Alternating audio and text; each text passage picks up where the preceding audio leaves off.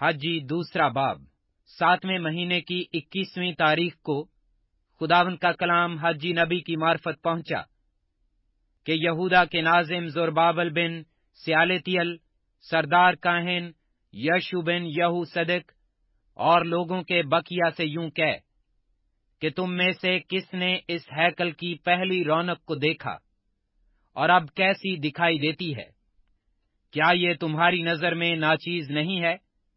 لیکن اے زربابل، حوصلہ رکھ، خداوند فرماتا ہے، اور اے سردار کاہن، یشو بن یہو صدق حوصلہ رکھ، اور اے ملک کے سب لوگوں، حوصلہ رکھو، خداوند فرماتا ہے۔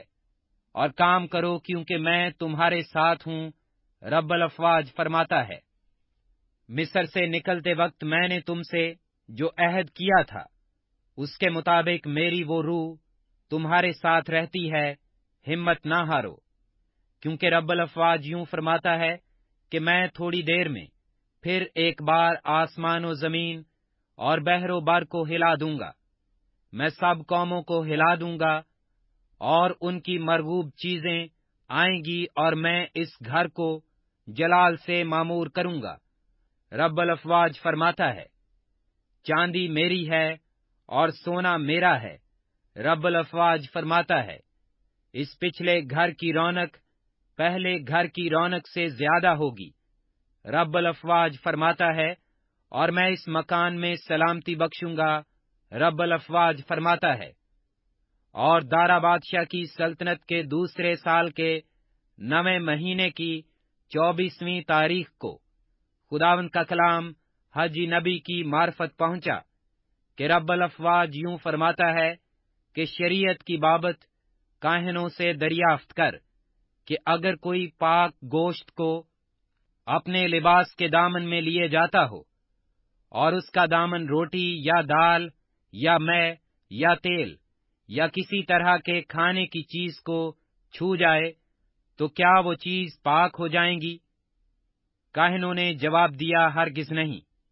پھر حجی نے پوچھا کہ اگر کوئی کسی مردہ کو چھونے سے ناپاک ہو گیا ہو اور ان میں سے کسی چیز کو چھوئے، تو کیا وہ چیز ناپاک ہو جائیں گی؟ کاہنوں نے جواب دیا، ضرور ناپاک ہو جائیں گی۔ پھر حجی نے کہا، خداوند فرماتا ہے، میری نظر میں ان لوگوں اور اس قوم اور ان کے امال کا یہی حال ہے۔ اور جو کچھ اس جگہ گزرانتے ہیں ناپاک ہے۔ پس اب اور آئندہ کو اس وقت کا خیال رکھو۔